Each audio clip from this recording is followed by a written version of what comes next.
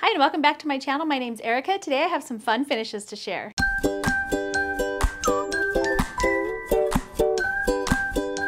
So over the last 12 months, we've been making the cutest sampler quilt. If you've missed all of the Sew With Me series blocks, I will make sure to link them below. You're not gonna wanna miss these. You don't have to worry about being behind. You can do them on your own time. And we have made 12 unique quilt blocks in which you are going to be learning some fun, new, basic quilting skills. And when you're done, you're gonna come up with this adorable quilt. Now there's a lot of different ways to finish it. I shared those in my last video. In today's video, I'm gonna share with you my finished quilt. I'm also gonna share two bonus projects that you can do. Of course, there are more, uh, but I thought a pillow and a table runner would be a great addition. So let's start out with my finished quilt. So I went ahead and did the finishing that we showed in last week's video where I put the little nine patch squares um, for my sashing, and I think it just turned out so cute. I think this might actually be one of my favorite quilts, and I love that I made it out of all of my scraps because that meant I was sewing my stash. And also it's just super cute. I can look at all these different fabrics. I can remember what lines they came from. I think they all just came together so well. So for my sashing, I chose this really fun navy print. This is from One Fine Day by Bonnie and Camille. And I just love the tiny flowers in there uh, that gave it a little pop of color, but it's still overall a navy. So it stands out really well on my quilt as an accent fabric.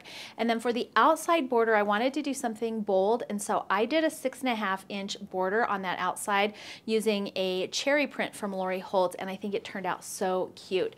Now the only fabric that I really ordered for this was that navy um, for my accent fabric because I just didn't have enough and I wanted it to all be one color and for the backing. So I ordered this cute low volume print from Lori Holt for the backing of it. And I just wanted something kind of simple, low volume that would just give it a little bit of texture on the back but not be anything too bold and I think that was the perfect choice. For the binding I did a red gingham which I absolutely love. This came from my stash and this was from a Bonnie and Camille print that I've had uh, for quite a few years. I believe it was their vintage picnic line and I think it added just a really nice little pop right around the edges Now I went ahead and put my quilt together using all the 12 and a half inch blocks that we made here together on YouTube, but there's a lot of different layouts that you can do with this, and I shared that last time. I'll put up the graphic here again so you can see.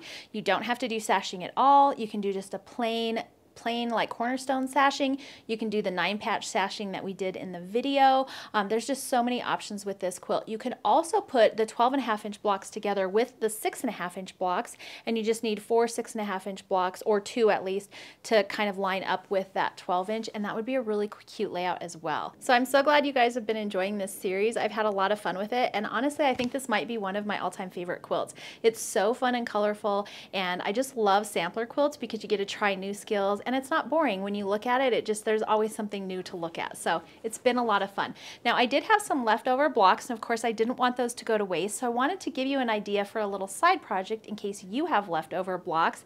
And these are perfect for those blocks that maybe didn't turn out quite perfect or um, maybe you just had some leftovers because you had done some testers, which is what I did. So I just sewed four of my leftover blocks together. Uh, two of them were from a different project, so don't get um, confused with those. Um, but I sewed them together without any sashing that way they finished at 12 and a half inches and then it was really easy for me to use my leftover scraps for my sashing just to finish it off. I used that same red gingham binding so that it coordinates perfectly with the larger quilt and I think this would just look so cute on a bed. So don't throw away those scraps or orphan blocks. You can always make them into something cute like a little pillow. I also thought it would be fun to make a table runner. So I made all of my six and a half inch blocks, sewed them together and then added that same sashing just like I did on the quilt.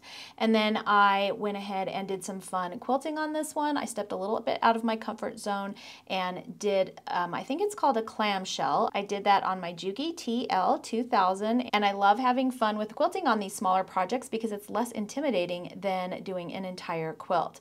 Now I used all of my six and a half inch blocks for this table runner, but you could easily use three 12 and a half inch blocks, or you could even mix it up and do some 12 and a half inch blocks and some six and a half inch blocks and just make it totally unique. I also put a tag on the back of this one. This is from my Sweetwater tag subscription. So it's a personalized tag and it's just such a fun way to personalize your quilts.